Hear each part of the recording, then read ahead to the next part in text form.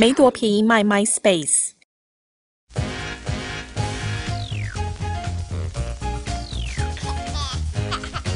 MySpace 曾经是全美国最热门的社交网站。二零零五年，媒体大亨梅朵以五点八亿美元天价买下 MySpace。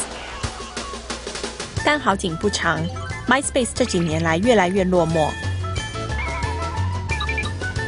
有人批它页面杂乱，放太多广告，也不重视用户隐私。经济之秀脸书很快取代了 MySpace 的地位，用户喜欢脸书干净的界面和多功能。很快地，MySpace 用户只剩未成名歌手们。梅朵砸重金买下的公司竟然年年赔钱。据了解，梅朵为了赶快将 MySpace 脱手，已经把卖价压到美金三千万元左右。